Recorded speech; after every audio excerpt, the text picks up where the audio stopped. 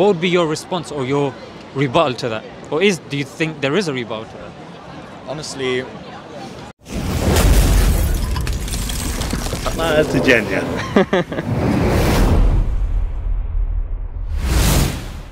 The Quranly app. Subscription cheaper than Netflix, encouraging Quran reading, modern, engaging, and fun. Download it today.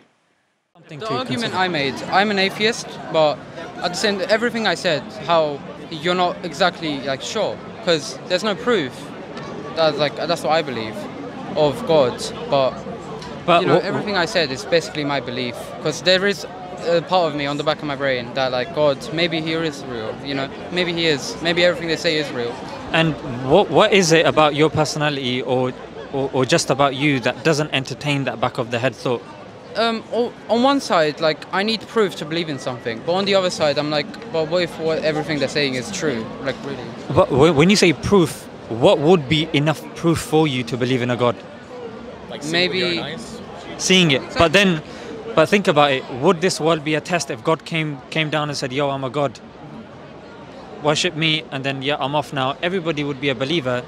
You wouldn't necessarily say that this world is a test. Let's say like um, Allah created everyone.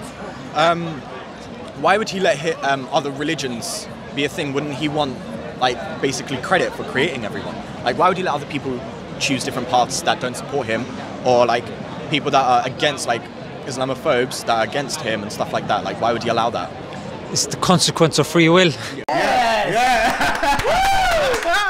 Yes. Oh yeah. If he's given us free will, then he's not going to control us. He's going to put certain things in place that can help us reach the answer, but he's not going to necessarily and force us to the answer because then people are going to say, oh, why am I like this? Why am I like that? But we have our own choice. Just like you guys chose to stand here, engage with us, whilst other people probably wouldn't.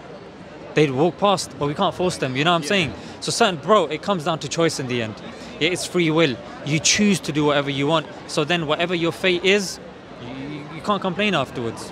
That's that's pretty much it. What would be your response or your rebuttal to that? Or is do you think there is a rebuttal to that?